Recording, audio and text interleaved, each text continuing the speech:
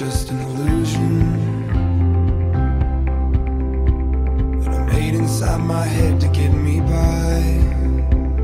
20 years in debt, 20 years in the government, 20 years can never get me by.